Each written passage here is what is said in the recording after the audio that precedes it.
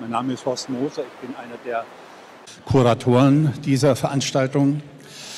In der nächsten Abteilung äh, haben wir einen Illustrationsblock. Es gab im 19. Jahrhundert gab es die Form der Novelle. Und äh, die gesamte Weltliteratur besteht aus sehr vielen Novellen von Edgar Allan Poe und so weiter. Äh, die sind veröffentlicht worden in Almanachen. Und als die Verlage die Almanache eingestellt haben, gab es plötzlich keine Novellen mehr. Also man braucht immer das Medium, wo man das verkaufen kann. Und genauso ist mit Illustration. Es gab vor 20 Jahren kaum Medien oder die normalen Zeitungen und Zeitschriften haben wenig Illustratoren beschäftigt. Das ist mittlerweile anders. Äh, mittlerweile gibt es bei der FAZ am Sonntag oder bei der Welt am Sonntag äh, ganze Ausgaben, die fast komplett illustriert sind oder auch delegiert werden an Künstler. Und das Medium, wo man die sehr gut aussuchen kann, heißt Freistil. Das erscheint jetzt in Kürze wieder eine neue Ausgabe. Herausgeber ist Raban Rutigkeit, der verschiedene Illustratoren jetzt vorstellen wird und ich begrüße ihn äh, zu dieser Section. Danke.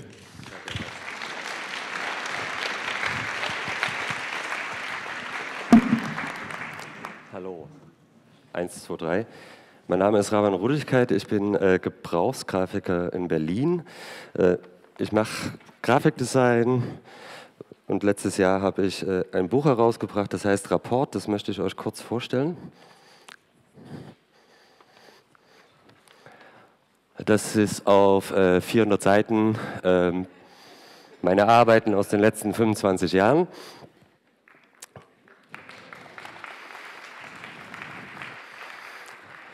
Und Zwei von, äh, drei von den Sachen kennt ihr vielleicht. Das eine ist das Typodarium, das ich gemeinsam mit Lars Hansen, der heute auch hier ist, herausgebe.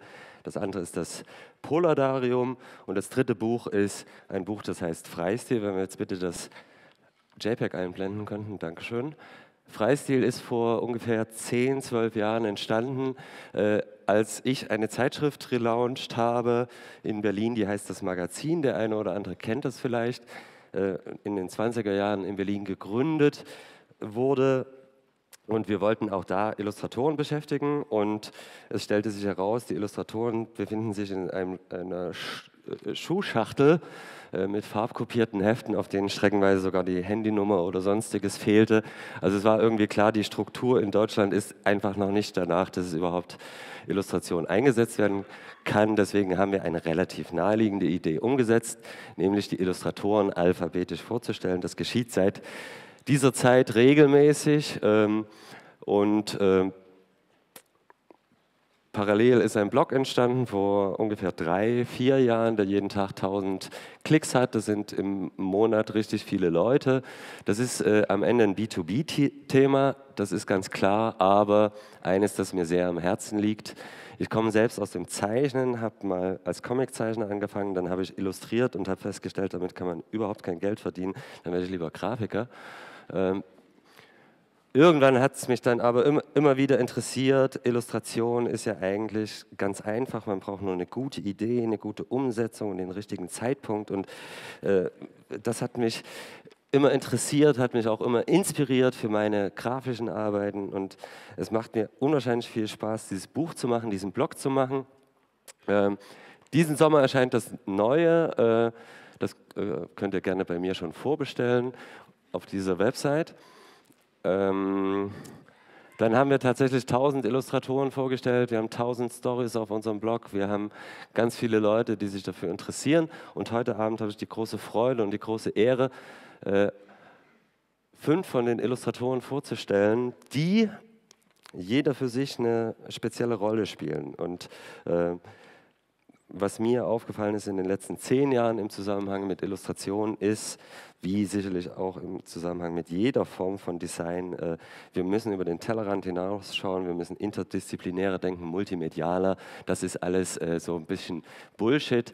Aber Leute, die das wirklich tun, äh, habe ich mir heute Abend eingeladen. Und zwar, jetzt muss ich hier auf die andere Reihenfolge achten, sind das fünf Illustratoren, die sich jeweils kurz vorstellen werden und danach werden wir ein kleines moderiertes Gespräch über die Situation in Deutschland im deutschsprachigen Raum führen unter dem Motto Quo Vadis Illustration. Begrüßen Sie mit mir als allererstes Katharina Gschwendner aus Hamburg. Illustratorin.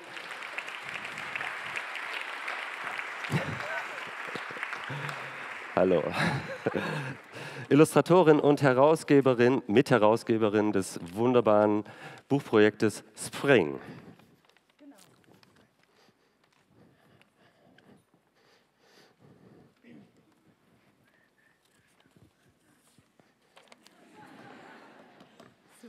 Das kann ruhig noch zwei Stunden stehen. Also okay.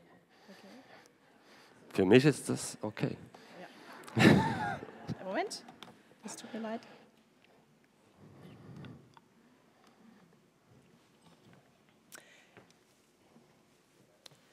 Ja, hallo. Vielen Dank äh, für die Einladung. Ähm, ich bin Katharina Gschwendner, wie ich gerade schon vorgestellt wurde. Was macht das Pony am Fließband? So habe ich meinen kleinen Vortrag hier genannt und ich denke, jetzt bin ich Ihnen eine Erklärung schuldig. Ich habe das Pony, ich habe das Fließband und ich habe die Freundschaft. Das sind die drei Säulen, auf die ich die Illustration aufbauen möchte und die ich jetzt in diesem Vortrag hier vorstelle. Das Pony war zuerst da. Regelmäßig stelle ich meine freien Arbeiten in Museen und Galerien aus und meine freien Arbeiten sehen zum Beispiel so aus, das sind Hinterglasmalereien. Ähm, ich zeichne auf Plexiglas mit äh, Feder und Tusche, weil ich Zeichnerin bin. Vielleicht kennen Sie die Technik, das ist eigentlich eine traditionelle Technik, die man hier im süddeutschen Raum öfters antrifft. Ähm, zum Teil säge ich eben diese, die Arbeiten auch aus. Hier sehen wir das Bild Afrika. Und da die Arbeiten sehr kleinteilig sind, zeige ich jetzt ein paar Details. Ja, also hier liegt jemand im Bett, krank vielleicht, hat netten Besuch und andere kämpfen gegen Riesen. Wenn ich zeichne, weiß ich nicht, was passieren wird. Und das ist das Entscheidende und das ist das, was ich wie die Luft zum Atmen brauche, diese Form der Arbeit.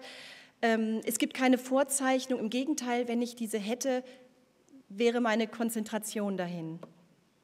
Ein Junge nimmt seinen Stuhl und sein Zimmer mit an einen anderen Ort und springt über Figuren, die in einem Loch sitzen. Ich zeichne halb bewusst, immer so knapp unter der Bewusstseinsebene, wie nach einem Traum, in dem man halb erwacht und wieder äh, zu Bewusstsein kommt. Und die, in diesem Wechsel arbeite ich auch, dass ich mich diesem Flow hingebe und dann mit einer Distanz zurücktrete und überprüfe, was ich da tue. Wie Bergarbeiter schaffen hier diese Leute Schätze ans Licht, Bücher, ein Schlafsack ja, warum tue ich das? Ich habe einfach immer wieder so einen extremen Willen zu einer gestaltenden Ordnung, die Gefühle, Energie und dieses ganze Chaos einfach in eine Logik bringt und, äh, und ich möchte Bezüge herstellen. Das ist mein, meine Notwendigkeit. Der Außenraum dieser Arbeiten bleibt transparent. So habe ich das Motiv, das wie eine Sprechblase im Raum steht. Und ähm, jetzt sieht man hier sehr viele Figuren, die ich, äh, die ich eben entwickle, die entstehen äh, assoziativ, Figur für Figur und eigentlich fühle ich mich manchmal wie äh, die Sozialarbeiterin meiner eigenen Kreaturen. Äh, da gibt es Krieg, dann möchten Leute den Streit schlichten, die sehnen sich nach irgendwas, die recken ihre Arme nach irgendwas und wenn, die, ähm, wenn, es, wenn sich die Motive ineinander immer mehr verzahnen und ich den gestalterischen Bogen ähm, entwickle, ist es sozusagen auch ein, ein sozialer Bogen. Ne? Und ähm, hier hat sich dann herausgestellt, dass dieses ganze Streben und, und Sehnen und sich zerren und verzehren äh, in die Mitte geht zu einer ähm, Zungengeburt. Eine Figur, eine Münze wird zu einem Menschen und das Bild heißt Geld, Geburt des Messias. Da sieht man auch, wo ich herkomme. Ich habe eine Holzbildhauerlehre in Garmisch-Partenkirchen gemacht und ähm, das, was ich hier in Süddeutschland, ich bin auch in Nürnberg aufgewachsen, was mich am meisten geprägt, beeindruckt, geflasht hat, ist die narrative religiöse Kunst. Diese zahlreichen äh, Totentänze zum Beispiel, hier ist ein Totentanz, die man in den kleinen Kapellen sieht. Die Assamkirche in München hat mich umgehauen. Also das ist das, wo ich herkomme. Was anderes, was mich sehr geprägt hat, sind die Märchen in ihrer Gleichnishaftigkeit. Hier sehen wir Schneewittchen und die sieben Zwerge. Ja, bei dieser freien Arbeit entsteht eben der Fundus an Bildideen, die ich dann auch später abrufe. Außerdem bin ich Illustratorin im Sinne von Dienstleisterin. Hier sehen wir ein Fließband und das trifft die Sache ganz gut. Bei der professionellen Arbeit als Illustratorin sehe ich natürlich über meinen persönlichen Tellerrand hinaus und ich beschäftige mich mit hoffentlich gesellschaftlich relevanten Themen. Äh, und in der Regel muss es schnell gehen und äh, es ist eine sehr sportliche Angelegenheit, was mir übrigens ziemlich Spaß macht. Jetzt zeige ich wenige Beispiele meiner angewandten Arbeiten. Also ich habe es mit gesellschaftlichen Phänomenen zu tun, hier dem Wettrüsten reicher Eltern um den teuersten, extravagantesten, kreativsten Kindergeburtstag, Kitty und Mickey bis an die Zähne bewaffnet, äh, drücken den äh, hysterischen Eltern die Waffen in den Rücken. Das Kind ist geplättet am Boden, lutscht nur noch an seinem Geschenk, dabei ist doch Justin Bieber eingeflogen worden. Auch ähm, soziale Themen, wie hier die soziale Schere. Ähm, und für mich ist es spannend, weil ich eben immer noch mal dazu lerne und ähm, erstmal die, die, Themen, die mir geliefert werden, natürlich verstehen muss, interpretieren muss und äh, darüber hinaus eben auch Fragen aufwerfen darf so wie ich in meinen freien Arbeiten eben auch so assoziativ arbeite, mache ich das auch bei den Illustrationen gerne. Hier ähm, war das eine Strecke für einen Kulturspiegel zum Thema Aberglaube. Ähm, das war ein Interview mit einer Wahrsagerin hier. Die Dame verschwindet in der Tarotkarte. Das Unheil, das die Kutsche oben fressen wird, äh, bahnt sich schon an. Hier sehen wir den Urmensch, der sich mit seinen neuen Göttern einem Superhelden gleich über die Tiere erhebt, der Superschamane, da ging es um, um Glaube und Aberglaube des Menschen seit der Urzeit. Also das, was ich vorher in meinen freien Arbeiten fantasiere, kann ich hier abrufen. Außerdem, das hat äh, Raban schon ähm, eben erwähnt, kommt jetzt das dritte, das habe ich Freundschaft genannt. Das ist unser Projekt Spring. Äh, wir sind wir bringen jährlich ein Magazin raus. Es gibt eine Release-Party mit Performance und Ausstellung eben. Äh, seit zehn Jahren gibt es uns, seit elf Jahren gibt es uns nun. Ähm, wir sind auch auf Messen vertreten und in, in, in, Buchläden und haben auch einen Vertrieb. Dieses Jahr auch auf dem Comic-Salon Erlangen, einer großen Ausstellung. Ja, da machen wir Dinge, die wir sonst nicht machen. Ich zum Beispiel mache sonst keine Comics. Hier äh, sehen Sie zwei Seiten aus Reinecke F. Da haben wir ähm, gemeinsam Reinecke Fuchs sehr frei äh, umgesetzt. Jeder, jede Zeichnerin, genau ist ein Frauenprojekt, äh, jede Zeichnerin hat einen Gesang illustriert. Kleiner Tipp, Goethe verleiht Flügel. Äh, wenn Sie ein Thema zum, also wenn Sie Goethe, äh, wenn Sie was zum Thema Goethe machen, kommt das Goethe-Institut und Sie werden an alle Ecken und Enden der Welt eingeladen. So geht es uns gerade, das ist wunderbar. Jetzt geht es nach Delhi, wir waren in Paris, Brasilien hat auch schon gefragt. Goethe, ja?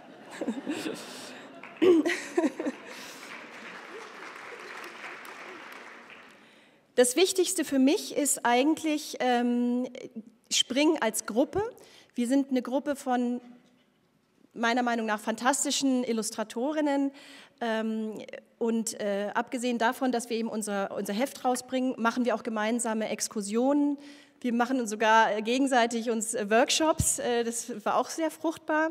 Ähm, also da gibt es eine Inspiration und vor allem auch Sprechen über die Arbeit, was ja auch überhaupt nicht selbstverständlich ist, nicht mehr selbstverständlich ist. Ähm, ja, also wir sind äh, eine äh, inzwischen schon wirklich sehr tief befreundete Künstlerinnengruppe und äh, von diesem Austausch profitiere ich ungemein. Also Spring ist mehr als die Summe ihrer Teile. Und äh, hiermit beende ich jetzt den Monologteil meines Vortrages.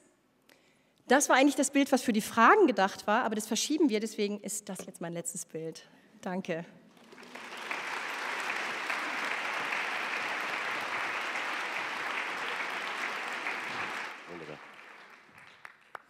So.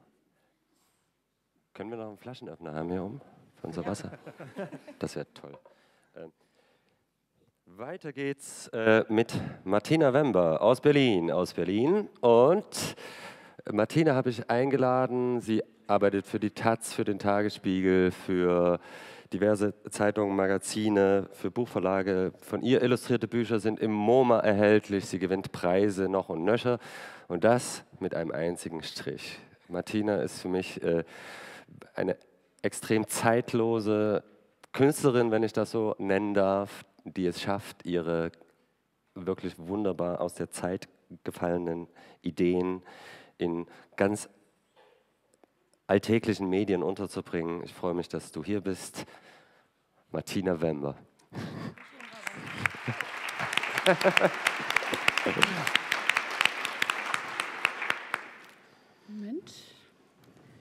erstmal zurechtfinden. Ja, hallo.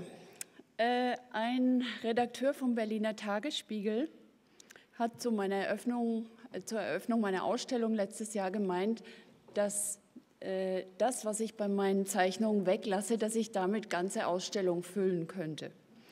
Ich bin immer auf der Suche nach Ausstellungshallen seitdem. Ähm, und er hat auch den Titel meines Vortrags geprägt, minimalinvasiv. Stimmt, ich arbeite sehr minimalistisch, wie Raban schon äh, gemeint hat, aber auch meistens, also es gelingt nicht immer, kommt auf die Themen an mit einer Prise Ironie. Ich habe für einen, ich habe ein paar Beispiele mitgebracht. Hier zum Beispiel für einen Softwarehersteller, der das Thema selbstheilende Computer mir zur Aufgabe gestellt hat.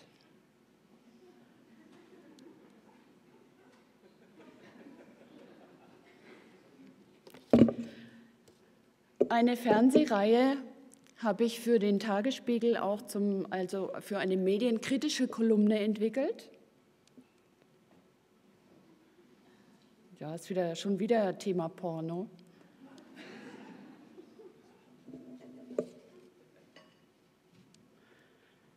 Für den Tagesspiegel arbeite ich ganz viel. Hier sehen Sie drei Beispiele aus dem Kulturteil. Äh, einmal sehen, da geht es um äh, kulturelle Angebote in Berlin, die man unbedingt gesehen haben muss oder hören, eben dementsprechend für die Musik. Denken ist eine philosophische Kolumne die mehr oder weniger einfach sehr viel rumeiert. Ich weiß jetzt nicht, wie ich sonst ausdrücken soll. Also alle Themen äh, sind mir nicht äh, ja, sehr lieb, aber man muss sich damit auseinandersetzen und es ist ja gerade das Spannende dran. Das sind noch weitere Beispiele. Äh, Sie sehen schon, dass ich versuche, möglichst viel wegzulassen. Bei den Logos ist es noch ein bisschen schwieriger, weil die muss auf einen Blick funktionieren, die Kolumne. Und ich hatte da schon sehr oft Auseinandersetzungen mit dem Tagesspiegel. Die haben immer ganz bestimmte Vorstellungen, die sich äh, manchmal nur mit Mühe umsetzen lassen, weil es dann einfach so Bild-Text-Doppelung ist und das, das hasse ich eigentlich aber manchmal lässt sich es nicht vermeiden, dass man dann auch äh, einen Kompromiss findet. Links oben ist zum Beispiel Thema, wo man, was man unbedingt noch gesehen haben sollte, was man, wo man noch hingehen sollte. Hingehen war das Thema äh, bei endenden Kulturveranstaltungen. In der Mitte Kältetechnik, da ging es um äh, die Sportler mit ihrem Lieblingssportgerät, was die da so alles mitmachen. Rechts ein Neuberliner berichtet aus der Stadt, also Koffer und Stuhl. Links unten wieder eine philosophische Kolumne, was wäre wenn? In der Mitte unten der Ostberliner Fernsehturm, ein Ostberliner berichtet und rechts mein Garten.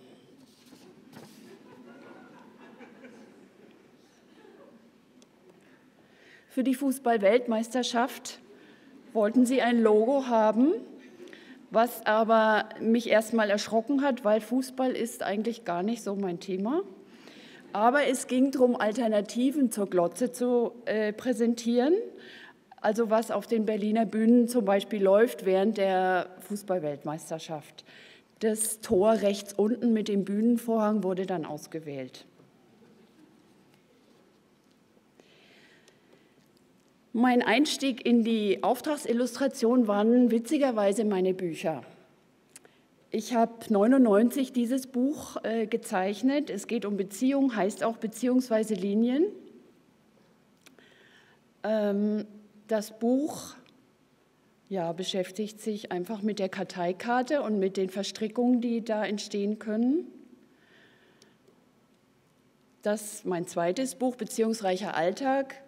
Es zeigt Metamorphosen der Alltagsgegenstände, mit denen wir uns ständig umgeben. Es gibt da auch noch Wäscheständer drin, mit dem jeder wahrscheinlich so seinen persönlichen Kampf auch hat. Ja, diese Bücher, kurz darauf ist dann der Freistil von Raban erschienen und der Freistil war ein sehr großes Glück für mich, Raban. Darin konnte ich meine Bücher präsentieren und äh, äh, Meret und Meret hat mich eben entdeckt und wollte mich für ein Wirtschaftsmagazin von McKinsey engagieren. Dieses Wirtschaftsmagazin MCK Wissen gab es seit vier Ausgaben und sie wollten einfach einen Material-Rundumschlag. So sieht das Magazin aus, jede drei Monate eine andere Farbe, aber immer so streng außen. Aber innen war das dann ein, eine Materialschlacht, die ich seither nie wieder so, so eine Freiheit genießen konnte wie für die Illustrationen in diesem Magazin. Hier, das war zum Thema Innovation. Woher bekommt man Eingebung? Wie passieren Innovationen? Was geht da vor sich? Das war zum Thema Qualität, Qualitätsprüfung. Die Themen haben immer, äh, die Hefte haben immer Oberthemen gehabt und das zog sich durch das ganze Heft durch. Ich konnte dann immer so drei, ein bis drei Geschichten illustrieren und ja, es hat extrem viel Spaß gemacht die damalige Artdirektorin Katja Fössel, ich weiß nicht, ob sie da ist, sie ist auch Münchnerin, äh, von Meret Meret und äh, Britta Max von Brand 1 Wissen, die waren extrem experimentierfreudig und haben mir wirklich so ein breites Stilspektrum gegönnt, was ich seitdem nie wieder so erleben durfte. Hier noch ein letztes zum Thema Strategie. Nach fünf Jahren wurde das Magazin leider eingestellt, neuer McKinsey-Chef, neue Besen kehren anders und er wollte das beenden. Aber es gab dann noch ein fulminantes Abschlussbuch, äh, Was bleibt, heißt es. Und da kamen aber wieder meine minimal invasiven Zeichnungen zur Geltung. Ja, das war dann der Abschluss. Meine dritte Leidenschaft ist meine freie Arbeit, wo ich äh, so seit letztem Jahr mit der Nähmaschine zeichne. Ich kombiniere Zeichnung und Genähtes und äh, dieses ein Beispiel aus dem Buch Tools. Ich produziere diese Büchlein in kleinen Zehnerauflagen und habe da auch eine Galerie, die das vertreibt. Dieses ist das Sweet Home, was Raban erwähnt hat, was im MoMA in New York äh, vom MoMA gekauft wurde. Und da kombiniere ich eben auch, ja, irgendwie hat es immer auch mit Beziehung zu tun, meine freie Arbeit oder den Tücken des Alltags. Ja, da mein Thema Reduktion ist, möchte ich Sie nicht länger äh, mit nicht reduzierten beglücken und das war's schon. Das ist nur ein, ja, aus meinem Lieblingscafé ein Einblick, wenn ich morgen dann sehe, ah, jetzt ist es doch erschienen. Ja, vielen Dank.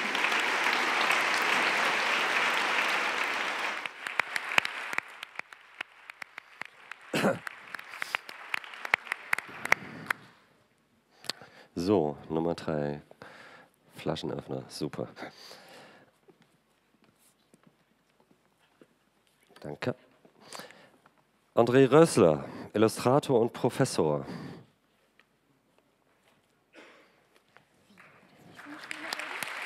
Später. Geil. Wir reden später. Hören Sie mich? Schön. Gut. Ähm, ich bin André Rössler. Hallo. Ähm, ich äh, möchte Ihnen heute zwei Projekte vorstellen.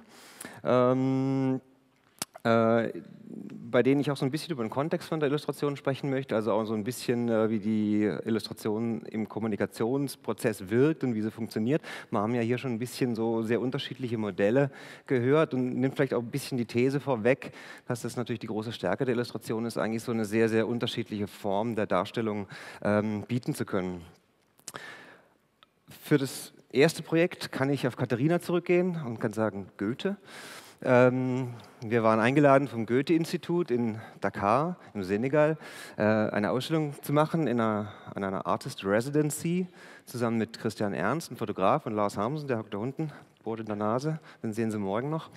Und ähm, äh, ja, wir hatten eine Artist Residency von einer Woche.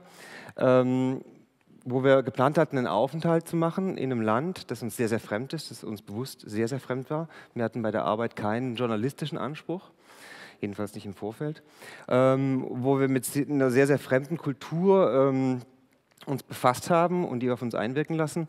Und unsere Idee eigentlich von der Arbeit war, ähm, vor Ort zu sein und eigentlich die Dinge, die wir für Gestaltung, für, für unsere Arbeit erleben, äh, aus einer Nähe äh, wahrzunehmen. Das heißt, eigentlich ist man als Illustrator gewohnt, sich mit Dingen zu beschäftigen und dann aber wieder sehr distanziert davon zu sein, in seinem Kämmerchen zu sitzen und äh, mit, einer, mit einer distanzierten Haltung an die Sache ranzugehen. Und wir wollten eigentlich sehr direkt vor Ort sein und das, was wir erleben, äh, direkt aufspüren, reinspüren und dann auch direkt vor Ort umsetzen. Auch mit der Vorgabe, uns selber damit einzubringen. Geplant war am Ende von dem Aufenthalt eine Ausstellung auf der Dakar Art. Das ist die größte äh, afrikanische Kunstmesse.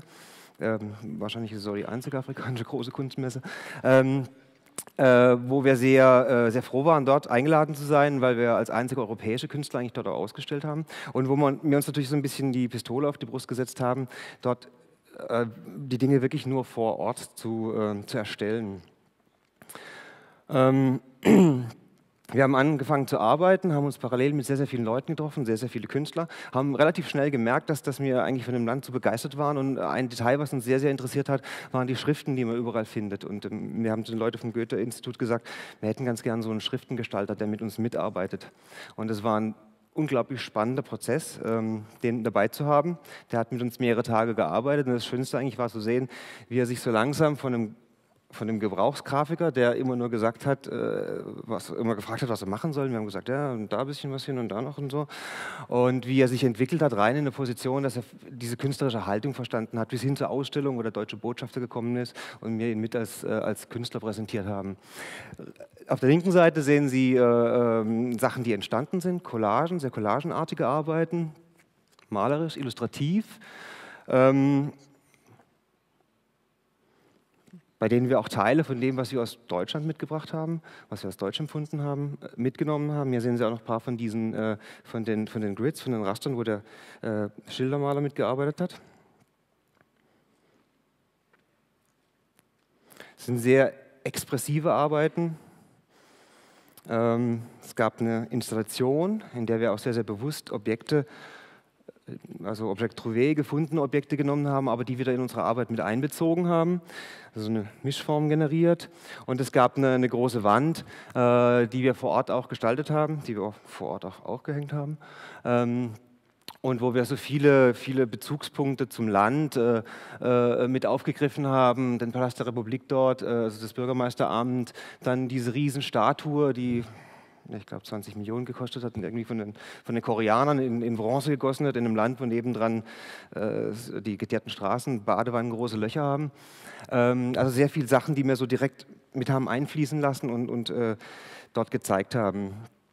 Ähm, es war ein sehr schönes, ein sehr freies Projekt und die Eindrücke für mich waren eigentlich so stark, dass ich dann gesagt habe, ich möchte im Nachhinein nochmal mich mit der Sache auseinandersetzen und möchte nochmal versuchen, wie kann ich mit, mit dem, was ich da erlebt habe, was für mich so an Emotionen, an Eindrücken auf mich eingeprasselt ist, nochmal mit umgehen.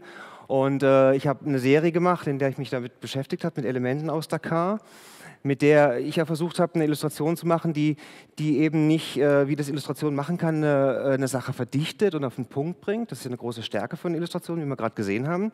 Aber Illustration kann natürlich auch Verwirrung schaffen, kann etwas umspielen und kann äh, vielleicht sowas haben wie so eine katalytische Funktion. Das heißt, sie kann etwas in etwas anstoßen, also einen Anschlag geben und eine Sache um, umkreisen. Da sehen Sie Sachen hier sehr frei. Themen wie hier vorne Mann und Frau, die eine Rolle spielen. Ähm, die Kraft, die Expressivität, aber auch das Chaos, aber auch das Verschachteln von Dingen, die äh, organisatorische Strukturen vor Ort, die mich interessiert haben. Aber dann auch im Weiteren Arbeiten, die eher in, in, äh, in, eine, in, eine, präzisere Richtung reingehen, wo ich gesagt habe, so und jetzt möchte ich mal gucken, wie kann ich präzisieren, wie kann ich wirklich eine Szene schaffen, wie kann ich äh, was genau im Detail wiedergeben und kann eine Emotion von dem Ort, den ich aufgefangen habe, wiedergeben. Also zwei sehr, sehr unterschiedliche Anforderungen an Illustration, zwei sehr, sehr unterschiedliche Fähigkeiten von Illustration, die mich da sehr, sehr interessiert haben. Gut, das zweite Projekt ist ein, äh, ein, Projekt, in dem ich im Moment dran arbeite. Das ist ein ganz frei initiiertes Projekt. Ähm, ich bin äh, vor kurzem über äh, äh ein Zitat von einem äh, amerikanischen Journalisten gestoßen, der gesagt hat, er kennt keinen ernstzunehmenden Mann in seiner Generation, der nicht mindestens einmal in seinem Leben in Kim Gordon verliebt war. Und Kim Gordon ist die Sängerin von Sonic Youth und kon konnte ich, konnte ich irgendwie unterschreiben. Und, ähm, und es war für mich so ein ganz schöner Anlass, äh, mich mal ähm, mit einer Person zu beschäftigen. Ist ja in der Malerei so ein klassisches Thema, Porträt. Für mich war es eigentlich neu, ich habe das eigentlich noch nie groß gemacht.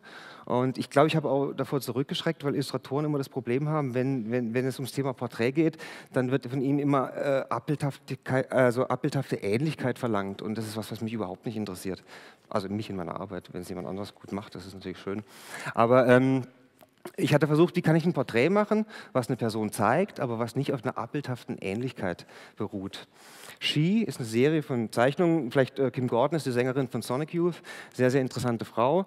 Ähm, in dem Porträt geht es ein bisschen um die Entwicklung von Punkrock, von der ganzen Alternative Musik, äh, wo ich auch versucht habe, natürlich das, was die Musik auszeichnet, das die Energie und die Kraft, die da drin steckt, umzusetzen. Da gibt es Themen äh, wie ihre Beziehung zu, äh, äh, zu dem Thurston, denn äh, der Gitarrist von Sonic Youth, aber auch so diese Entwicklung von Punkrock. Oder die Trennung von Thurston, die äh, jetzt gerade vollzogen worden ist. Ähm, wie thematisiert man sowas? Wie kann man sowas in Bild äh, bringen, äh, ohne platt zu sein und ohne auf so einer direkten Abbildhaftigkeit zu, ähm, aufzubauen? Dann auch Themen wie neuere Tendenzen ihrer Musik. Also sie ist äh, auf dieser mittlerweile äh, wesentlich experimenteller unterwegs. Dekonstruktion von, von, äh, von diesen Rockstrukturen spielen auch eine große Rolle und das war auch was, was ich hier aufgreifen wollte. Äh, dieses Pussy Galore oben bezieht sich auch auf ihre Arbeit als Künstlerin. Also sie ist auch bildende Künstlerin und äh, macht auch solche Sloganbilder. Ähm, Und zum Abschluss vielleicht dann, sie ist jetzt gerade dieses Jahr 60 geworden, das war für mich auch ein schöner Anlass, auch noch so ein Porträt, sie so als, als, ähm, als Frau, die in den, in den, Medien steht, so eine äh, mehrere Dekaden von, von äh, amerikanischer Popgeschichte da eigentlich hinter sich gebracht hat und jetzt äh, ähm, so in ihrer, in ihrer Wirkung heute. Gut, das war's von meiner Seite. Ich danke Ihnen vielmals.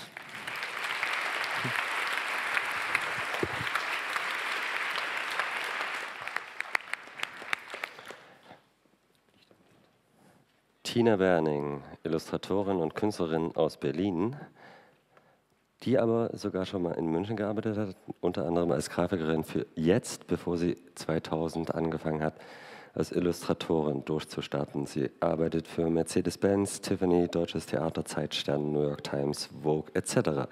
Und hat parallel eine Karriere als Künstlerin gestartet, die man wirklich auch als Karriere bezeichnen kann, denn sie funktioniert. Eins äh, der Bücher, das dabei entstanden ist, ist 100 Girls on Cheap Paper. Das kennt der eine oder andere von euch. Es gibt die wunderbaren äh, Kooperationen mit äh, dem Fotografen Di Battista. Begrüßen Sie mit mir die wunderbare Tina Berning.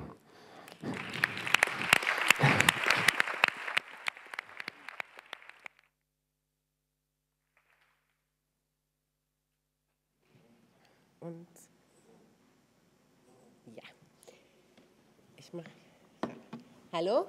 Ähm, Raban hat ja fast schon alles gesagt. Da äh, muss man ja gar nicht mehr viel draufsetzen. Nein, ich bin Tina Berning. Ich ähm, finde es jetzt wahnsinnig schön, weil die anderen Illustratoren sich vorstellen zu sehen, weil man da doch merkt, jeder. Oh. Oder ich gebe den Headset. Ja, nee, jetzt ist jetzt zu spät. Ich halte mich an die Regeln. Jetzt sage ich es nochmal.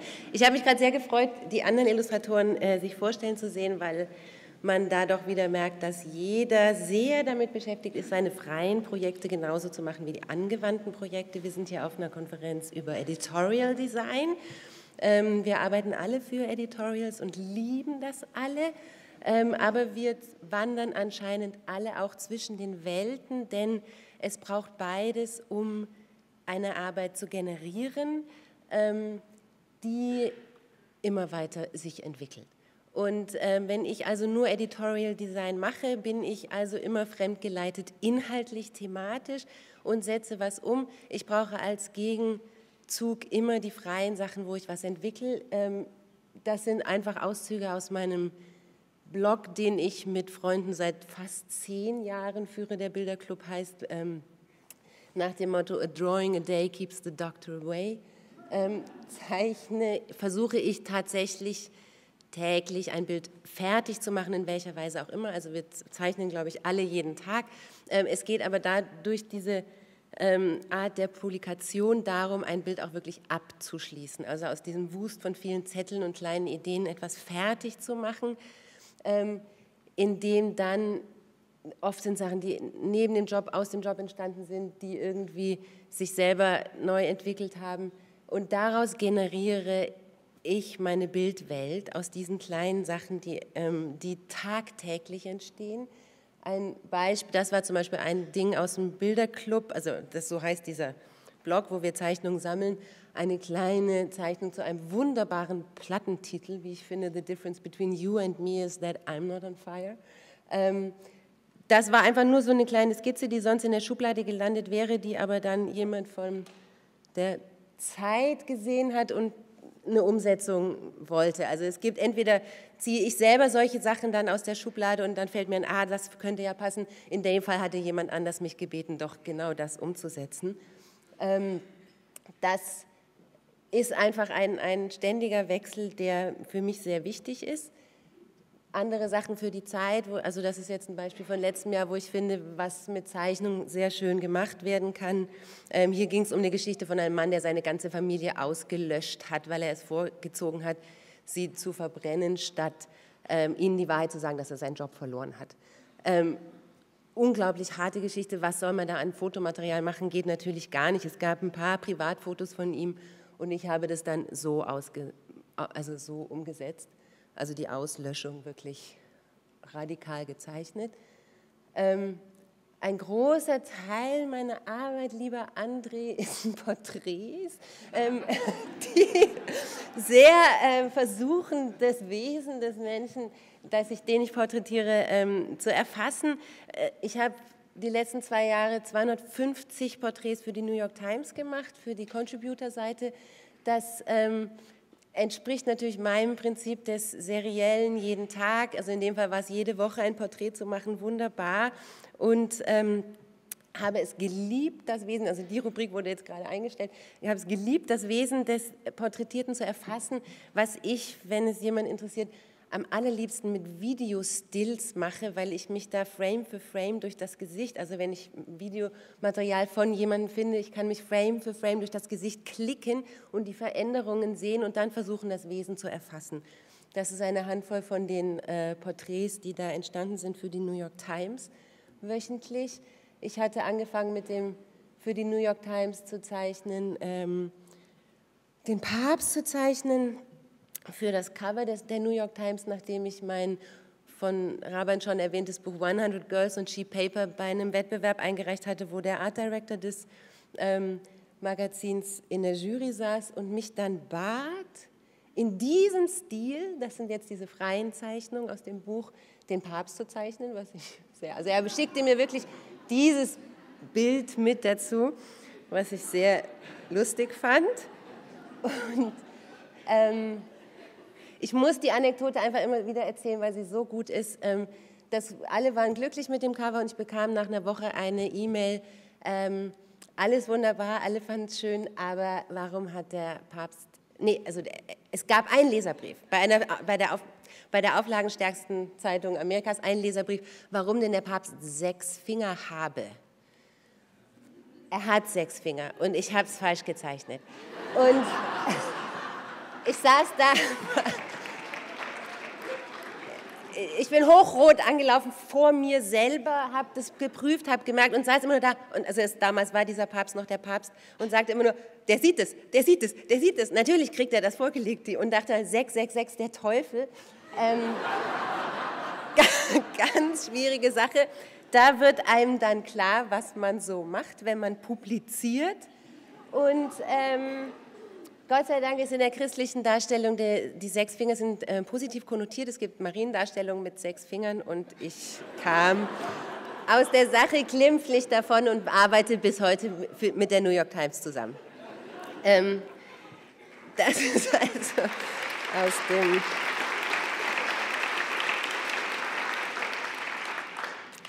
Das sind also jetzt Zeichnungen aus diesem ähm, Buch 100 Girls on Cheap Paper, das, ähm, ich mache jetzt einfach mal ein bisschen schneller, das ich entwickelt hatte, ich, ähm, weil, weil, mich, genau, das muss ich kurz sagen, ich, ich hatte diese Kiste, wo ich immer meine Zeichnung aufgehoben habe, auf die hatte ich irgendwann mal aus einem einfach ausgeschrieben, 100 Girls on Cheap Paper, und dann rief mich Joachim Baldauf an, der Fotograf, der das Heft Vorn rauslegte und fragte mich, einen Inhalt für seine Webseite zu finden, um nicht den Inhalt der Vorn nochmal zu, durchzukauen. Und dann sagte ich, super, ich mache dir meine 100 Cheap on Sheep, äh, 100 Girls on Sheep Paper, freudscher Versprecher, ähm, und gibt ihr jeden Tag eine Zeichnung für diese Webseite, wo man jeden Tag ein neues, 100 Tage lang, also wieder tägliches Prinzip, Tagebuchprinzip, 100 Tage lang habe ich das gezeichnet und dann haben wir ein Buch daraus gemacht. Das wurde dann eine Ausstellung, die in Berlin, New York und Tokio gezeigt wurde ähm, und dann habe ich mit den freien Sachen immer parallel weitergemacht. Das sind andere Ausstellungs, also das war hier bei einer Ausstellung bei Andreas Binder in München. Ähm, hier geht es ganz stark um analog, weil wenn ich eine Zeichnung ausstelle, es sind keine Drucke, ich möchte ein loses Papier an die Wand hängen. Das heißt, hier geht es um das Gegenteil, was ich oft mit Illustrationen mache, nämlich Fehler ausbessern. Ich habe dann so Zeichnungen, das Auge war nicht gut, dann habe ich ein Ersatzauge hier nochmal liegen und ähm, scanne das dann ein und tausche das aus. Ähm, hier funktioniert es natürlich ganz anders. Ich habe am Schluss ein Stück Papier, das ist dann in einem Rahmen. Und diese Auseinandersetzung des Analogen hat sich wieder in meine, freie, äh, in meine angewandte Arbeit der Illustration zurückgeführt, weil ich plötzlich gemerkt habe, so, es ist ja nicht jeder Fehler falsch. Nur weil ich ihn ausbessern kann, muss ich ihn nicht ausbessern. Jeder Kringel, ähm, der irgendwo entsteht, kann auch schön sein. Und ähm, das, ich meine, kurz den Sprung. Und diese, dieser Wechsel ist für mich wahnsinnig wichtig. Also es befruchtet sich gegenseitig. Ähm, das sind jetzt ganz, ich habe jetzt auch mehr angewandte Sachen noch dabei, also Editorial-Sachen, das ist die ähm, wöchentliche, wieder wöchentlich, ich liebe es, Kolumne, die ich für den Stern mache gerade, das sind Auszüge davon. Ähm, ich nehme mir immer raus, dass stilistisch ich auch unterschiedlich arbeiten kann für jede Sache. Ich entwickle dann meistens irgendwie, entwickelt sich automatisch etwas für einen speziellen Kunden. Äh, ich bin, ich mache auch gerne mal wirklich, das ist hier Bolero, also ich habe jetzt richtig Hardcore ähm, Editorial-Sachen, ganz normale Editorial-Sachen mitgebracht. Bolero ging es um Kräuter, Sommerkräuter. Da habe ich eine große Freude, dann auch so was Schönes dann nach so einer harten Geschichte für die Zeit zu machen. Ich liebe diesen, diese Unterschiedlichkeit. Hier ging es um äh, ging so Sex und nicht so Sex für die Donna mache ich auch gerne. Ich ärgere mich, dass ich meine Playboy-Zeichnung nicht mitgebracht habe, wegen des Schwerpunkts Porno. Ähm, Klassiker der äh, Illustrationen wird immer gebraucht, empfehle ich jedem jungen Illustrator. Oh, Sternzeichen. Sie werden immer gebraucht und auch das macht mir Spaß. Äh, ich empfehle es jedem Illustrator, wenn hier irgendjemand ist, der das gerne machen möchte. Äh, es ist eine wunderbare abgeschlossene Serie von zwölf Bildern. Jeder weiß, um was es geht und jedes Magazin braucht in der Regel im September ein Sternzeichen. Ähm, dann äh, komme ich noch auf ein letztes Projekt zurück. Das ist für das Deutsche Theater gewesen. Das war jetzt nicht im klassischen Sinne Editorial, aber dennoch, ähm, die baten mich als Künstlerin 25 Stücke zu lesen ähm, und zu den 25 Stücken Zeichnungen zu machen. Und ich habe sie nicht als Illustratorin gemacht, in dem Sinne, dass ich versucht habe, eine Essenz aus dem Stück rauszufinden, in ein Motiv zu packen, sondern ich habe wieder Tagebuchprinzip, jeden, jeden Tag einen Blog für die gefüllt mit Zeichnungen, während ich gelesen habe. Ähm, und die Sachen wurden dann für alle Printsachen, die die gemacht haben, verwertet. Das heißt, die hatten einen riesen Pool an Zeichnungen, die einfach durch, dieses, durch diese alltägliche Zeichnung entstanden sind und die dadurch sehr, eher assoziativ als ähm, komprimierend funktionieren, wie ich einfach gerne auch arbeite und wie es für den Fall auch sehr angebracht war, denn oft, also als ich das gemacht habe, waren teilweise noch nicht mal die, ähm, die äh, na, wie heißt sie, heißen sie, die Regisseure klar, wer das Stück ähm, macht oder sowas. Also die haben ja einen Spielplan, es muss ja ein Jahr vorher gehen. Das war's.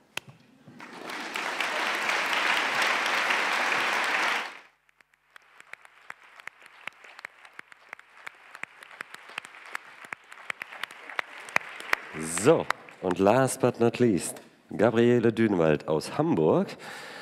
Also es sind schon auch irgendwie äh, immer ähnliche Städte, Hamburg, Berlin und so weiter. Illustratorin und Artdirektorin. Sie ist mit Mitgründerin der Allegra gewesen. Heute ist sie Artdirektorin vom Philosophie-Magazin Hohe Luft, wo ausschließlich illustrierte Motive stattfinden. Es gibt keine Fotos mehr. Und äh, sie hat eigentlich angefangen als Illustratorin, arbeitet jetzt auch als Artdirektorin und wird uns davon erzählen. Hallo Gabriele Dünwald. Hallo. Ähm, als Raban mich eingeladen hat, habe ich mir dann nach langer Zeit nochmal die Frage gestellt, warum mich Illustration so fasziniert. Und bin auf so drei Statements gekommen, die für mich positiv besetzt sind und für viele meiner Auftraggeber aber aus genau dem Grund negativ besetzt sind oder zumindest äh, aus dem Grund werden Illustrationen manchmal nicht eingesetzt. Die habe ich jetzt mal vorweggestellt, bevor ich erzähle, was ich sonst so mache. Moment, das war gar nicht die erste, Entschuldigung. Damit geht's los.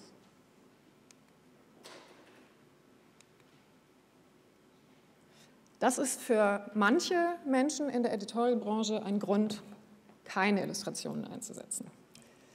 Ähm, ich habe wie viele Menschen in meinem Grafikdesign-Studium hatte ich den Wunsch, mal ein Kinderbuch zu machen. Das heißt, das ist eine Arbeit, die habe ich direkt nach dem Studium gemacht und habe dann relativ schnell festgestellt, ähm, Kinderbücher möchte ich eigentlich doch nicht machen. Also das ist nur ein Beispiel dafür. Ähm, ich habe mich dann mit Menschen beschäftigt, die äh, sowas professionell machen und habe dann festgestellt, das muss immer alles niedlich sein und es muss hübsch sein und das mochte ich nicht so gerne. Deswegen habe ich diesen Themenkomplex dann relativ schnell verlassen. Ähm, ich habe dann lange als klassisch angestellte Grafikdesignerin bei verschiedenen Magazinen gearbeitet, unter anderem eben bei Allegra und hatte da die große Freude, nicht nur selber illustrieren zu dürfen, sondern auch äh, die Illustratoren für alle Ausgaben aussuchen zu dürfen. Also da, ich bewege mich im Prinzip seit dieser Zeit auf so der Schnittstelle zwischen Illustration und Grafikdesign. Der damalige Artdirektor, dem lag das nicht so am Herzen und ich habe mich dann da so ein bisschen reingefuchst und habe dann viele junge Talente kennengelernt. Äh, viele Leute sind extra zu Allegra mit ihren Mappen quer durch Deutschland gereist und wir hatten quasi fast jeden Tag jemanden vor der Tür stehen, der seine Arbeiten zeigen wollte. Ähm, was mich damals mm, gefreut hat, aber manchmal auch ein bisschen geärgert hat, dass Konkurrenzblätter, die dann immer sehr schnell abgeworben haben, wenn wir gute Leute gedruckt haben, weil der Allegra-Chefredakteur damals der Auffassung war, wenn die woanders stattgefunden haben, die Illustratoren, dann dürfen die, wir die nicht mehr einsetzen.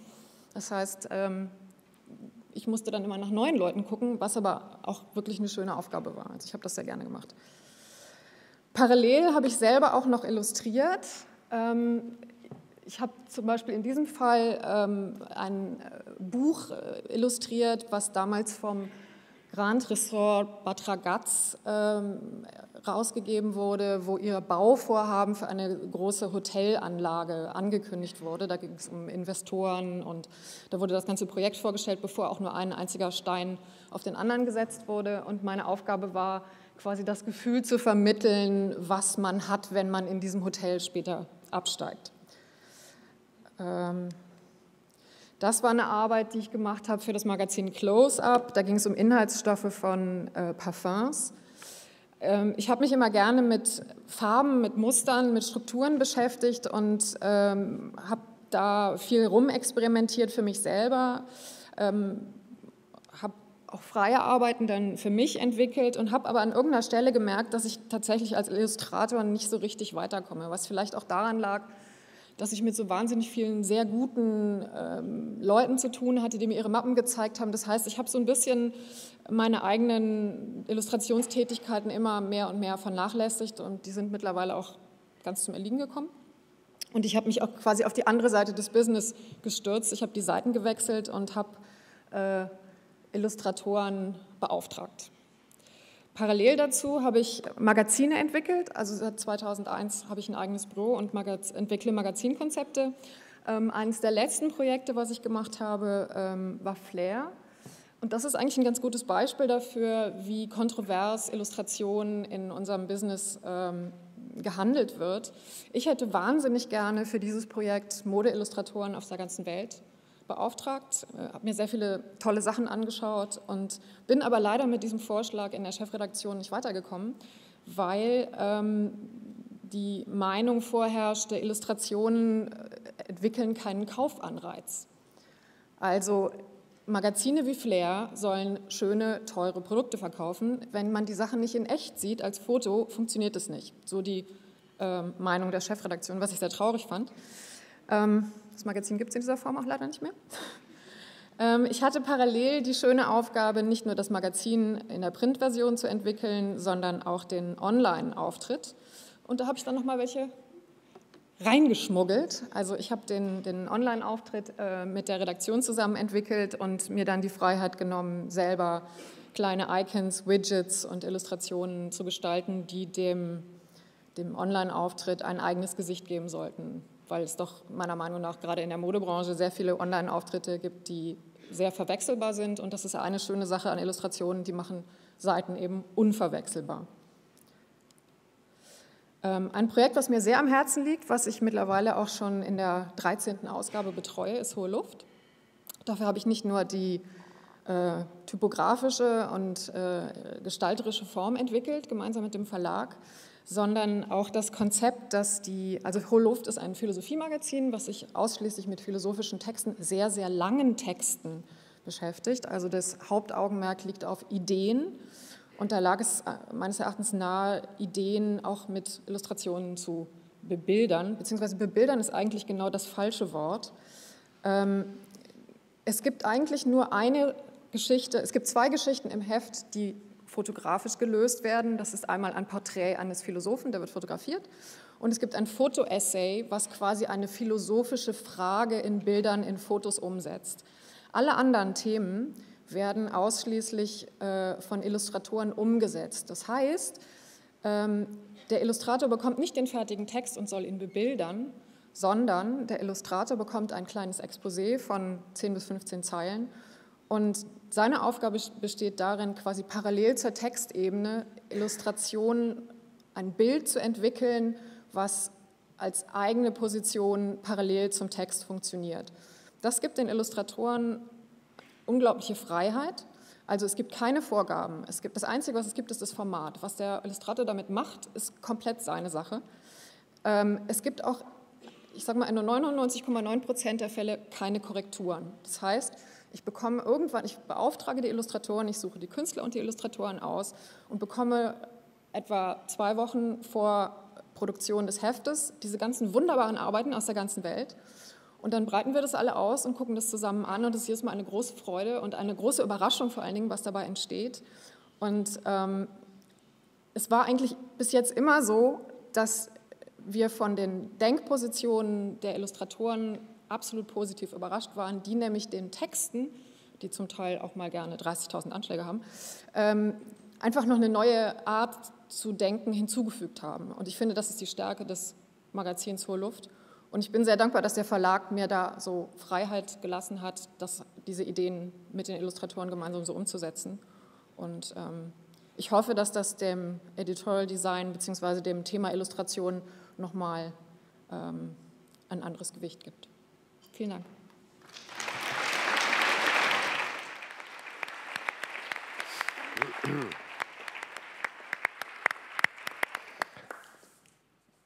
Toll, danke. Ähm, ihr ahnt jetzt vielleicht so ungefähr, warum ihr hier sitzt, weil jeder von euch ist äh, nicht der typische Illustrator oder keiner von euch ist der richtige typische Illustrator, so wie ihn sich viele Grafikdesigner oder Artdirektoren so vorstellen. Da sitzt jemand zu Hause in seinem Atelier, wartet auf einen Anruf oder eine E-Mail oder was auch immer, braucht dann und so. Ich glaube eben auch, dass das so nicht geht. Ich, äh, ihr seid alles tolle Beispiele, dass man definitiv über seinen Tellerrand hinausschauen muss, wie ich finde, oder sollte, um auch im Bereich Illustration voranzukommen, sei es der Bereich Kunst, was auch immer. Und ich habe für jeden von euch noch eine Frage vorbereitet, weil viel Zeit ist nicht mehr. Ähm, bevor wir dann zu Mike Meret kommen, der irgendwie auch über das Thema Kunst und angrenzende Bereiche und so weiter reden wird. Das schließt, glaube ich, ganz gut aneinander an. Ähm, und jetzt frage ich mal den Herrn in der Runde. Ihr habt es gesehen, ich wollte erst die Arbeiten sehen. Äh, André ist eben nicht der klassische Illustrator, sondern andere ist der Typ, der setzt sich in den Zug, fährt mit drei Jungs irgendwo hin und dann kommt er zurück mit einem Buch von 500 Seiten. Das ist jetzt nicht so das klassische, ich bin, ich habe Illustration studiert, Ding, sondern das ist ein ganz anderer Ansatz, ein sehr lebendiger, ein sehr forscher äh, und einer, der sich auch selbst äh, in Frage stellen kann oder zurücknehmen kann, wo man auch als Illustrator sagt, das ist mir jetzt, ich muss jetzt nicht dieses Gesicht machen, weil eigentlich ist die Typo viel stärker und ich, mich interessiert die Collage dahinter und so weiter und so fort. Ähm, jetzt arbeitest du sogar noch mit jungen Leuten zusammen äh, als Professor. Ich weiß, dass da ganz tolle Sachen bei dir entstehen. Und ähm, meine Frage an dich ist, äh, was lernt man der, äh, äh, als, als, als Illustrator in der Zusammenarbeit mit Typografen, Autoren, Fotografen, Studenten? Was, was ist für dich das Wichtige daran? Hm. Gut, also ich meine, als Illustrator, das ist so eine allgemeine ganz, ganz schwierige Frage, was man überhaupt als Illustrator lernt. Ja. Ich glaube, da könnten wir jetzt lang drüber referieren. Und ich glaube, es ist ein sehr, sehr schwieriger. Zwei Minuten. Wie viel? Zwei Minuten. Zwei Minuten, naja, gut. Das kann ich viel zu lang.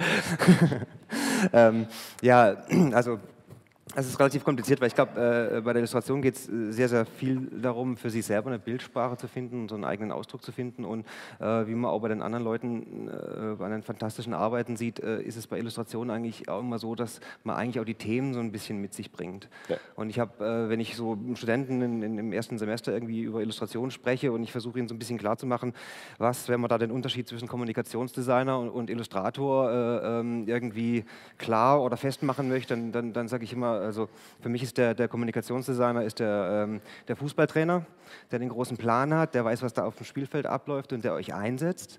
Und äh, äh die Illustratoren, äh, das ist dann der Libero oder der, der eben mit rechts außen richtigen Mums hat. Also der hat, die haben alle eine, eine Qualität und die müssen sie entwickeln. Und ich glaube, da, darum geht es hauptsächlich im, im Studium, diese Qualität irgendwie äh, für sich selber rauszufinden. Was macht der? Auf Buch. Ich stelle einfach die nächste Frage, und zwar an Gabriele Dünwald. Ist man als Illustratorin eine bessere Artdirektorin? Ich glaube, das sind ganz unterschiedliche. Ja. Hallo? Ja. Ähm, ich glaube, das kann so sein, aber das mhm. muss nicht so sein. Mhm. Also ich glaube, das ist, äh, ich kenne eine Menge Illustratoren mittlerweile, mhm. die gerne im stillen Kämmerlein mhm. vor sich hinarbeiten und möglichst nicht in Kontakt treten wollen. Ähm, Im besten Fall habe ich das so wie bei Hohe Luft, dass äh, das ein Dialog und ein Austausch ist. Also ich habe mich irgendwann von der Illustrations, äh, also vom selbermachen verabschiedet. Mhm. Ähm, aber ich habe auch, ich bin nicht als Illustrator angefangen. Mhm. Ich habe nicht Illustration studiert. Ich habe mhm. Grafikdesign studiert und habe dann irgendwann gedacht, naja, also Bilder machen finde ich total schön, macht mir total Spaß, war auch wahnsinnig naiv es ist schon sehr lange her zu einer Zeit, also als ich mit dem Studium fertig war, gab es noch viel, viel weniger gedruckte Illustrationen. Mhm, ja. Und ehrlich gesagt, damals gab es vor Freistil mhm. auch noch gar keinen richtigen Markt. Ja. Und Aber ich finde es interessant, weil wir, wir, haben eben auch bei der Recherche damals zum Magazin festgestellt, dass die ersten Zeitschriften waren illustrierte Zeitschriften. Da kommt sogar der Name her, die Illustrierte, kommt daher, dass das alles gezeichnet war. Da gab es noch keine Litho, Foto und so weiter. Und das, da, eine ganze Menge davon ist vor die Hunde gegangen. Und ich, ich glaube einfach, dass eben dieser Grundimpuls ist eines Artdirektors überhaupt da, äh, äh, diese Sprache zu generieren. Mike hat das mit Yves Netzhammer gemacht und so weiter, aber es sind so Ausnahmen, wo das stattfindet, wo äh, ein Illustrator ist, äh, zehnmal besser ist als ein abfotografierter Gegenstand von der Realität, den mhm. ich ja schon als JPEG auf Facebook zwei Sekunden nach äh, äh, Erscheinen schon besitze. Diese, diese Information ist völlig uninteressant mittlerweile. Ja? Die auch nicht unbedingt noch reell ist. Also By the way. Die ja. Realität der Fotografie genau. ist ja so. auch noch Und, und also die Illustration äh, ist eigentlich im Moment äh, durchaus äh, imstande, die Fotografie zu, zu, zu, mindestens zu ergänzen oder sogar zu überflügeln in ihrer Art und Weise komplexe, wie in der Zeit, äh, philosophische, wirtschaftlich abstrakte Zusammenhänge völlig neu zu zeigen. Ja? Und aber, aber ich würde sagen, es ist ja gar kein Wettrennen. Ich würde hm. eher hoffen, dass es hm. hier so läuft, wie es, wie es in Amerika hm. tatsächlich ist. Da ist die Illustration einfach ein eigenes Genre, was auch als solches respektiert wird. Also wir denken an den New Yorker, der immer mit dem, seit Jahrzehnten, ja. Jahrhunderten, mit dem gezeichneten Titel. Da ist es ein völlig selbstständiges Genre und wird gar nicht angefochten. Ähm, hier geht es immer um dieses, um dieses ähm, also ich, mir wurde neulich, ich, jedes Jahr bestelle ich meinen Presseausweis und dieses Jahr bekam ich die Antwort, Sie sind ja Illustratorin. Äh, deswegen brauchen Sie keinen Presseausweis. Was schon lustig ist. Ne? Also dann muss man da anfangen, ähm, also es ist schon, es ist schon Wahnsinn, weil, weil das äh, hat ja nicht weniger, also jetzt nehmen wir mal meine 100 Zeichnungen dafür, die 200 für die New York Times. Äh, ich, das ist eine journalistische Arbeit. Natürlich muss ich den Menschen recherchieren, natürlich muss ich gucken, wer das ist. Also es ist ein ganz normale. Und da gibt es ein merkwürdige, merkwürdiges Unverständnis. Ja, Aber es hat sich schwer geändert. Das müssen wir also ich, hat, ja, ich hatte auch lange Zeit äh, den Eindruck, dass äh, in, auf dem deutschen, ich sag mal, äh, vielleicht auch Massenmedienmarkt für Magazine Illustrationen einfach nicht seriös genug sind. Das Lustige ist, diese Massenmärkte gibt es ja gar nicht mehr. Eben, ja deswegen hat sich das erledigt. Äh, kleine, kleine, Dinge und äh, ja. das ist vorbei, dieses Schielen nach, jeder muss alles verstehen. Also das ja. ist absurd. Ja. Okay. Dankeschön. Kurz ja. auf deine Frage sagen, ähm, jeder Grafiker, der sich mit Illustration beschäftigt mhm. hat, ist ein besserer Grafiker. Also ah. ist, ja, das, sehr das kann ich ist, bestätigen. Sich, sich das immer mit zu berücksichtigen. Ja. Also die, die, die ja. Illustration. Und das ist dann eben auch, wir haben vorhin kurz darüber geredet, er unterrichtet ja im Fachbereich Grafikdesign Illustration. Mhm. Ähm, das heißt, das sind alles, werden Grafikdesigner, die sich mit Illustration beschäftigt haben und das ist gut. Ja. Genauso wie sie sich auch mit, äh, mit Fotografie beschäftigen ja. haben sollen im, während des Studiums. Hm. Du moderierst. Die Frage ist, muss ich dir jetzt noch eine Frage stellen? Du beantwortest ja sowieso, was du willst. Also. Okay. Ich habe eine ganz rotzige Frage. Das ist eine uralte Theorie von mir und äh, bisher habe ich immer nur so, ah, ich bin mir nicht ganz sicher. Äh, meine Theorie ist, Illustration sieht gut aus als Reproduktion, Kunst sieht gut aus im Original. Ja oder nein? Ähm, ja. Danke. Es gibt, äh, ja, es gibt auch Tricks. Zum Beispiel sieht eine ähm, Illustration 90 Prozent ähm, skaliert gut besser aus als 100 Prozent. Wirklich, ja. es ist Fakt. Also das ist lange. Ähm, es gibt viele Sachen, klar. Okay. Aber hallo, deswegen, also mein, habe ich ja vorhin auch kurz mein, diese Beschäftigung mit analog und digital ist eine ganz, ganz spannende, weil ich kann viele Sachen ganz anders erzählen digital und kann sie ähm, und dann geprintet ähm, sieht es oft, ja. Also absolut, gibt's. Okay. Ist so. Wenn es ein gutes Heft ist. Hast du was von der Kunst gelernt? Gelernt? Ja. Vom Kunstmarkt oder ja. von der Kunst? Ja, so. Also das Machen, vom Machen, Kunst machen auf jeden Fall sehr okay. viel. Also diesen Flow zulassen, durchmeandern. ne, wirklich, plötzlich irgendwelche Kringel, die sind dann da und dann merkt man, ah, aus denen kann man was machen. Diese Art zu arbeiten ist eine ganz andere. Vom Kunstmarkt das ist ein absurder Markt. Also der ist, ich kenne keinen Markt, der so mit so viel Geld hantiert, wo kein Vertrag existiert, keine, also alle, ist, ist schon wirklich ein lustiger Markt. Aber es, ich finde es amüsant und ich genieße es als Zaungeist, muss ich sagen. Also ich genieße den Luxus, ich kann Ausstellungen machen ähm, und bin aber nicht davon abhängig, irgendjemand in den Arsch zu kriechen, ähm, um das zu machen, weil ich dann gleichzeitig noch mit meinen Illustrationen meine Brötchen verdiene und das aber so Hand in Hand läuft. Okay. Aber Vermachen auf jeden Fall. Katharina, du bist Mitherausgeberin von Springen. Ich, äh, da ich selber Dinge herausgebe, weiß ich, was das für ein Irrsinn ist, überhaupt auf die Idee zu kommen, äh, so etwas zu machen. Ähm, was hast du dabei gelernt, auch für deine Arbeit? In der Zusammenarbeit mit diesen Leuten, die in diesem Fall nur Frauen sind, worüber ich aber jetzt gar nicht reden möchte. Ich habe äh, andere Dinge mhm, gesehen und ja. mich darüber ausgetauscht. Ja. Ähm, ich ähm, betrachte die verschiedenen Perspektiven mit meinen Kolleginnen und Freundinnen und ähm, probiere in diesem geschützten Raum auch was aus. Also ich habe gesagt, dass wir auch gegenseitig uns Workshops gegeben haben und äh, das war mal total lustig, weil wie gesagt, ich habe eigentlich von Comic keine Ahnung und dann kommt Uli Lust und Barbara Jellin und äh, die haben uns dann so richtig wie so Schülerinnen Aufgaben gestellt und ähm, das war für mich klasse. Ja. Allerdings ist es so wahnsinnig aufwendig, ähm, dass ich jetzt beschlossen habe, das nächste Heft, äh, das muss ich jetzt noch durchsetzen, äh, das, nächste Heft, das nächste Heft fällt aus und wir lassen uns nur von der Muse küssen. Das okay. ist jetzt absolut fällig. Also okay. das ist äh, sonst eine Lawine an Organisation und jetzt müssen wir uns mal feiern und uns fortbilden. Ähm, ja, 37. Ach, da wären wir noch richtig Zeit. Für Martina habe ich was ganz Poetisches vorbereitet. Was lernt man als Illustrator von der Zeit? Von der Zeit, Zeit zu Die haben Zeit, oder keine ja. Zeit Ja. zu haben? Ja. Äh, also für mich ist es so, dass ich unter Zeitdruck schon besser arbeite. Ich darf das nicht so laut sagen an meine Kunden, weil sonst kommen die wirklich äh, Donnerstagabend um 18 Uhr und Freitag muss es äh, geliefert sein, was ab und zu vorkommt. Äh, ich fluche dann leise, aber trotzdem brauche ich den Kick. Es ist schlimm zu sagen, aber ich komme, wenn ich vier Wochen für ein Logo Zeit habe, komme ich nicht vorwärts. Das ist so und äh, ja, aber gut, dass ich das weiß. Ich finde halt dann oft Beschäftigung, äh, Im die das, außerschulischen ja, Bereich. Ja, genau. die das dann erfüllen, sozusagen den Druck. Ne? ja, an- andererseits für meine eigenen Projekte, da muss ich mir immer einen Zeitpunkt setzen, weil da ja keiner ist, der sagt, Martina, das muss jetzt raus. Es sei denn, da ist jetzt ein konkreter Verleger, aber meistens mache ich ja meine Sachen fertig und suche dann einen Verleger. Und äh, das ist schwierig, sich selber zu motivieren, sich selber in den Hintern zu treten und äh, zu inspirieren. Man kann auch nicht jeden Tag zeichnen oder ich zumindest nicht. Äh, das sind immer so einfach so Wellen, die Wellen, die stimmen müssen. Und äh, ja, das ist sehr sensibler Bereich.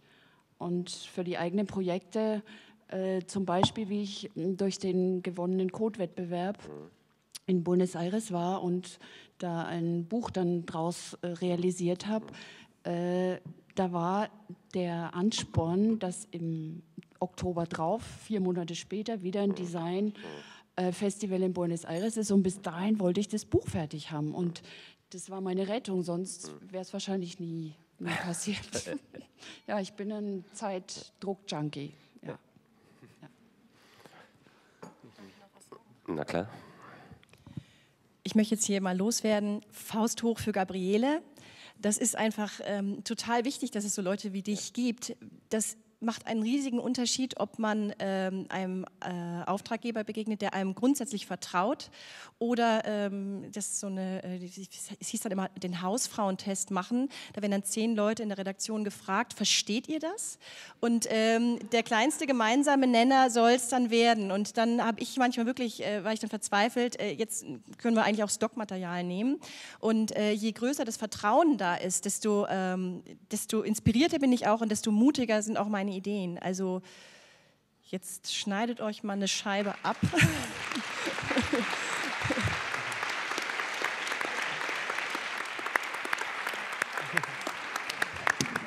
Kann ich da was noch was drauf erwidern? Nee? Kann ich noch was Na klar. Ähm, ja, vielen Dank. Das freut mich natürlich sehr, dass es auch Menschen gibt, die das zu schätzen wissen, ähm, weil sonst wird es das Magazin nicht mehr geben. Ähm, ich finde es allerdings auch eine absolute Bereicherung, äh, einfach kurze, einen kurzen 15-zeiligen Text loszuschicken und so viel zurückzubekommen. Also wenn ich mich jedes Mal vorher hinsetzen müsste und nach Lesen dieser gigantisch langen Texte selber mir auszudenken, wie die Illustration aussehen soll, dann wäre das Magazin relativ schnell am Ende, ehrlich gesagt, weil die Positionen, die da jeden oder alle zwei Monate äh, bei uns auf dem Schreibtisch landen, die sind so vielfältig und so erstaunlich und so toll, dass das irgendwie auch das das Magazin immer weiterträgt. Also auch die Redakteure, die nun wirklich keine sonderlich optischen Menschen sind, werden dadurch total bereichert. Und das ist, äh, also in diesem speziellen Fall zumindest, das möchte ich nicht generalisieren, ähm, aber die freuen sich genauso. Also das ist ganz toll.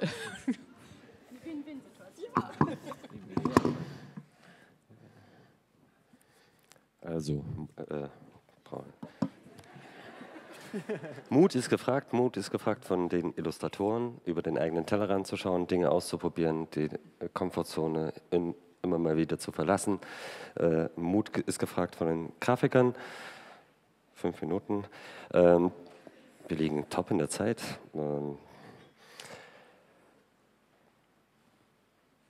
eine letzte Frage an jeden von euch. Was ist das Medium der Stunde? Print.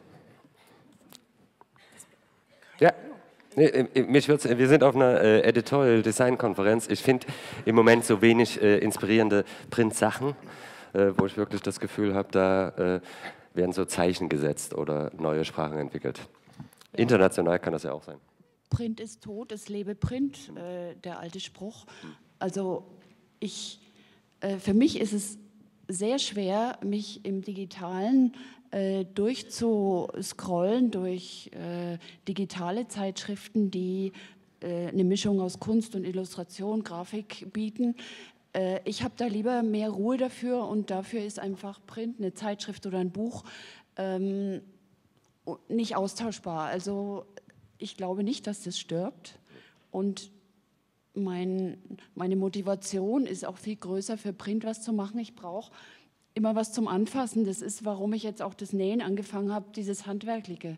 Und das kann man einfach, zumindest wenn es gedruckt ist, ist dann zwar auch äh, verändert, aber im, im Digitalen habe ich das nicht. Und deswegen meine ich, dass das äh, erstmal die nächsten 20 Jahre nicht sterben wird. Hoffe ich, hoffe ich. Also, ähm, ich unterrichte auch Illustration und witzigerweise ähm, habe ich jetzt festgestellt, dass äh, ein Großteil der Leute plötzlich als Herausgeber arbeiten wollen. Die wollen Magazine rausbringen, äh, sei es Gutes kleine, Vorbild. trashige, ja, und ähm, wirklich was in der Hand haben. Es scheint ein Bedürfnis zu sein. Ja. Okay. Ich finde immer, hallo? Hm? das? Ich finde, ein wunderbares Beispiel gibt es in der ähm, in der Musikvermarktung. Die Vinylschallplatte hat ja so ein wunderbares Revival, weil ich mir, also ich kaufe jetzt eine Vinylschallplatte und bekomme einen MP3-Download-Gutschein dazu. Das heißt, ich habe die digitalen Daten und habe das schöne Produkt. Und das finde ich wirklich wahnsinnig toll. Mhm. Also ich finde es wirklich also toll. Also als, als, ja, den Mix an. Ich finde es ne? einfach gut als, als Gedanke. Ähm, der, der das schätzt, hat es und will es und der, der es nur einfach schnell durchjagen möchte, macht es anders und ich denke, auf sowas wird es hinauslaufen. Also schöne Sachen für schöne Bedürfnisse und schnelle Sachen für schnelle Bedürfnisse und einfach so, naja, es ist einfach, ja, wir haben, ich mach den Übergang zu ja, Also, okay. ich denke. Ja gut, Medium, also für uns, ich glaube, da kann ich für uns alle sprechen, das ist natürlich die Zeichnung. Und, und äh, der entscheidende Moment, was, was diese Zeit angeht, ist ja bei der Zeichnung auch, dass, ähm, dass die Zeit für einen selber dann eine Rolle spielt, nämlich die, die, Zeit im Machen, also in dem Moment, wo ich etwas tue. Ich, ich bin halt nicht ab für Z, also ich kann halt nicht mhm. zurückgehen. Ne? Und das ist äh, letztendlich für das Machen, für den Moment der Aufmerksamkeit, in dem es passiert, ähm, natürlich ein absolut entscheidender Moment. Also das beeinflusst mich in dem Moment viel, viel stärker, wie die technischen Gegebenheiten und die Möglichkeiten, die ich habe. Also Undo ist, glaube ich, eines äh, der größten Gefahren und größten Geschenke, die es in der Illustration gibt in den letzten zehn Jahren. Ja. Ich möchte jetzt auch noch mal eine Lanze für das Digitale brechen.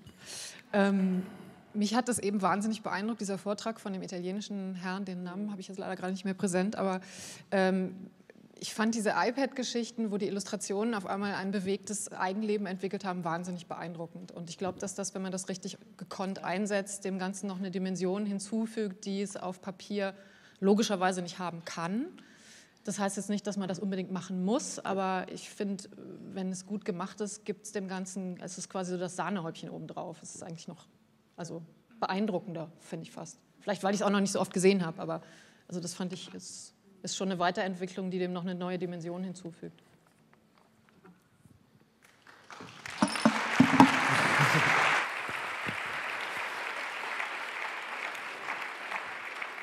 Ein, ja. Ein zukunftsbejahendes Schlussplädoyer. Rabban, was, was hat dich bewogen, nach vier Jahren doch wieder einen Freistil ins Leben zu rufen? verschiedene Gründe, aber tatsächlich irgendwie das Bedürfnis. Also ich habe von vielen Seiten bin ich angefragt worden, auch von jungen Leuten, so Studenten, man gibt so, wo ich dachte, die wissen überhaupt nicht, dass es das gibt. Aber auch da ist es ja der Mix aus dem digitalen Blog, jeden Tag, tschak, tschak, tschak und Antworten und Networking und diesem Buch, das dann wirklich so als Kiste in der Agentur steht, wo man sagen kann, aber jede Woche blättern da die ganzen Praktikanten durch. Und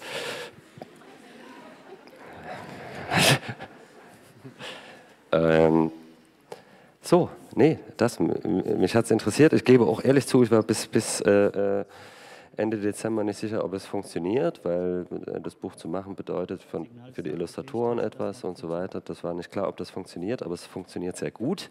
Das, äh, ja, und äh, während wir hier sitzen und quatschen, wird es da eben gerade in Berlin geschrubbt und das sind wunderschöne Sachen. Ich wollte gestern Abend eigentlich gar nicht hierher kommen, weil es macht so viel Spaß, das alles zu sehen, wie da Doppelseite für Doppelseite entsteht. So, und ähm, also es geht weiter mit der Illustration, möglicherweise digital, möglicherweise bewegt, möglicherweise animiert. Wir haben die ganzen Themen nur angerissen. Ich danke euch recht herzlich, dass ihr hier wart. Ich hoffe, es ist klar geworden, wie facettenreich, wie vielfältig Illustration sein kann. Und wir freuen uns, wenn ihr mehr davon verwendet. Yeah.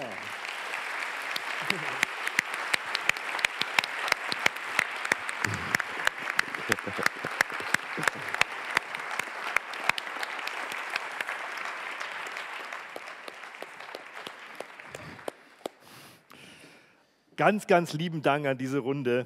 Ich finde, es war wunderbar spürbar, was man mit Illustration alles machen kann.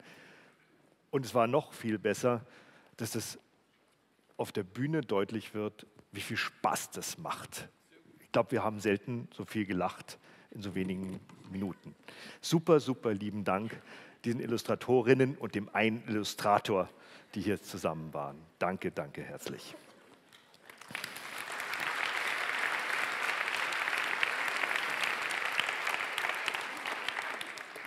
Wir machen noch eine kleine Pause. Bis